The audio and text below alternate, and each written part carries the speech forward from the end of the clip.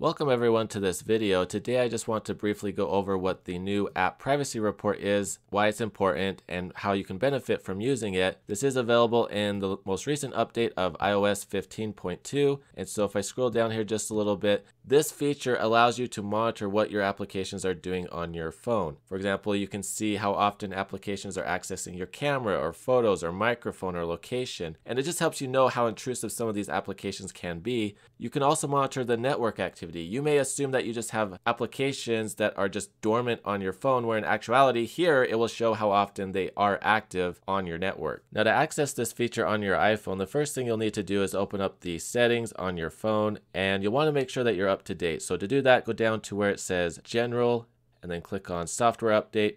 Again, just to confirm that you are up to date so you'll have access to this feature. After you have confirmed that you are up to date, just go ahead and head back to the main list of settings and go down to where it says privacy. And after you click on privacy, scroll all the way down to the bottom and that's where you will find access to this new report. I do recommend that you check this often and regularly. And also just as a rule of thumb, try to minimize the number of applications you have on your iPhone do not try to download the entire App Store. The less applications you have on your phone, the more private and secure your phone will be. That's everything for this video. If you have any comments or questions, please post them down below. If you like this video, please give it a thumbs up and consider sharing it. If you'd like to support the channel, please hit that subscribe button and that bell notification icon to get notifications on future videos. Thank you very much for watching. Hope you have a great day.